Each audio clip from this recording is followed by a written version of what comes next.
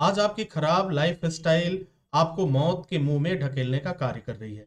यदि आपकी life style भी कुछ इस तरीके से है, आपका मॉर्निंग से लेकर के इवनिंग तक, आपका वर्क पीरियड फिर टाइमिंग अगर कुछ इस तरह का डिसबैलेंस है तो आप ये समझ लीजिए कि आप बहुत बड़े रिस्क पर हैं। आज की लाइफ स्टाइल में हम जो इस्तेमाल कर रहे हैं, खाने की चीज़ें इस्तेमाल कर रहे हैं, अपने लाइफ में सबसे ज़्यादा तली भुनी चीज़ें कोलेस्ट्रॉल ये सब चीज़ों का जो हम लोग यूज़ कर रहे हैं, प्रयोग कर रहे हैं तो आज की जो युवा पीढ़ी है, वह तीन बीमारियों को लेकर के वो काफ़ी नुकसान पहुँचा रही है। आज की युवा पीढ़ी हार्ट अटैक से, नपुंसकता से और ब्रेन हेमरेज ये तीन चीज़ें जो हैं, उनके लाइफ में आ जा रही हैं, बगैर बुलाए, बिन बुलाए। क्या कभी आपने जानने की कोशिश किया कि आप अचानक जॉगिंग कर रहे थे, अचानक आपके सीने में दर्द हुआ और फिर आपके साथ कुछ इस तरह से हुआ कि फिर आप कभी नहीं उठे? कभी जरा सोचिए कि आप आराम कर रहे हो, आराम के साथ हो और अचानक आपके सीने में दर्द होता है। आखिर क्यों? क्या आपने जानने की कोशिश किया? आप अपने जॉब पर हैं और जॉब में अचानक ड्यूटी पर जाते समय आपके सीने में दर्द होता है, फिर आप हॉस्पिटलाइज हो जाते हैं और देखते ही देखते आपकी जीवन लीला समाप्त हो जाती है, आप मौत के मुँह में चले जाते हैं।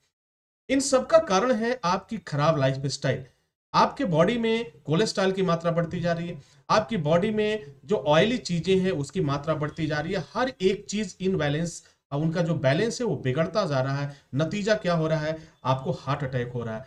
आज लड़के ही नहीं लड़कियाँ भी इसकी शिकार हो रही हैं। लड़कियों में भी देखा जा रहा है कि जिनकी आयु 21 वर्ष से 30 वर्ष की अवस्था में है एक सर्वे में ने ये आंकड़ा दिया कि उन्हें हार्ट अटैक की समस्या काफ़ी आ रही है।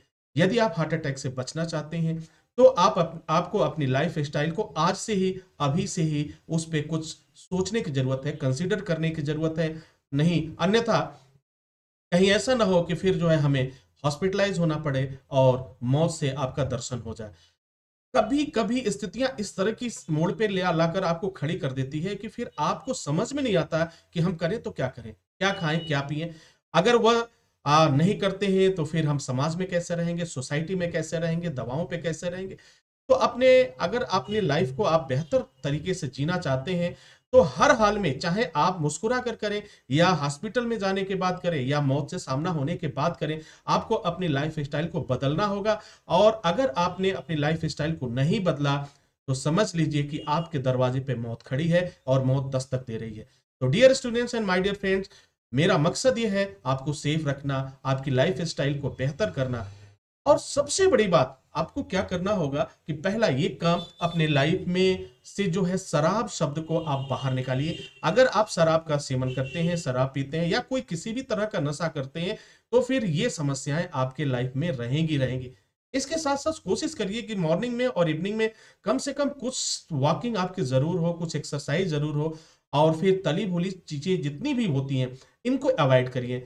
क्योंकि इसमें जो जाता है जो फैट आपके बॉडी में जाता है, वो आपके हार्ट के लिए भी काफ़ी नुकसानदायक होता है। आपकी ब्रेन के लिए काफ़ी नुकसानदायक होता है। वज़न बढ़ता जाता है और नतीजा तमाम तरह की बीमारियाँ और कैंसर के आप शिकार हो जाते हैं।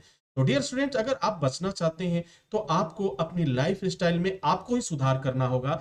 ये कोई और नहीं कर सकता। जितनी भी हम तली चीज़ें खाती हैं, जितना हम लोग हाई फैट लेते हैं क्या आपको मालूम है कि आपके बॉडी में जाने के बाद से ये क्या असर दिखाते हैं?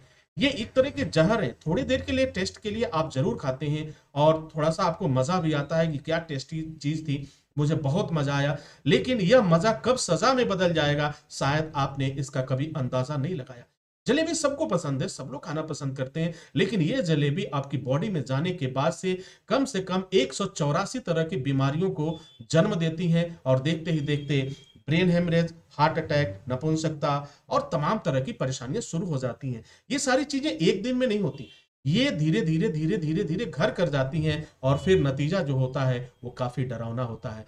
तो आपको आज से ही अपनी लाइफ स्टाइल को सुधारिए, अपनी लाइफ से शराब को अलविदा कहिए और फिर एवरीडे एक्सरसाइज को अपनी लाइफ में लीजिए। कोशिश करिए कि बिना तली भुनी चीज़ें कम से कम यानी तली भुनी चीज़ें जो भी हैं ऑयल से चीज़ें, उसे कम से कम लें ताकि आपका स्वास्थ्य और आपकी लाइफ लंबे समय तक चलती रहे।